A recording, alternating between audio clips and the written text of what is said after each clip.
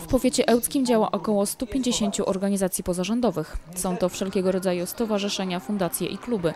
Na co dzień może nie tak widoczne, ale te organizacje działają w praktycznie każdej sferze życia społecznego i mocno odciążają samorządy.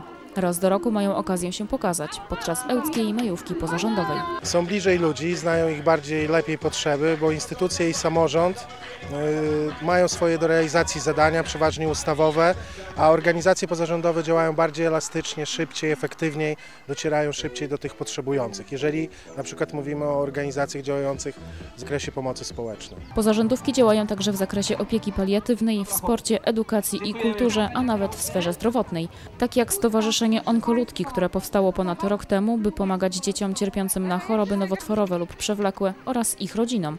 Pod opieką ma 40 małych ełczan. Podczas majówki członkinie stowarzyszenia dbały o to, by twarze dzieciaków były kolorowe. Ponieważ jesteśmy stowarzyszeniem, a nie fundacją, nie zajmujemy się y, pomocą taką stricte finansową, natomiast organizujemy różne imprezy po to, aby dzieci mogły się bawić, mogły wspólnie spędzać czas, y, żeby mogły się integrować i żeby pomimo choroby, y, żeby żyły tak jak, tak jak inne dzieci. Podczas majówki nie było chyba osoby, która minęłaby ubrane na zielono panie bez słowa. To członkinie Stowarzyszenia Aktywnych Kobiet Seniora.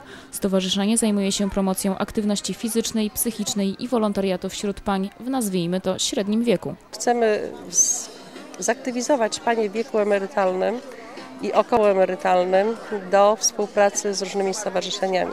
Każda z nas ma jakieś doświadczenia i zawodowe, i swoje prywatne, gdzie mogłaby w tym wieku, mając mnóstwo czasu, wykorzystać ten czas dla dobra innych. Organizacje pozarządowe stają się coraz bardziej popularne, bo często są jedynymi miejscami, gdzie można rozwijać swoje zdolności, tak jak skrabliści, czy trenować sport, jak karatecy. Organizacje powstają dobrowolnie, tak? czy to stowarzyszenia, czy fundacje, obywatele mają prawo je zawiązywać, żeby rozwiązywać jakieś problemy lokalne. Nie czekamy na jakieś rozwiązania płynące z góry, tylko tu na miejscu sami staramy się brać sprawy w swoje ręce i e, pomagać ludziom, czy też rozwijać miasto. Piknik zakończył trwający w Ełku Tydzień Obywatelski.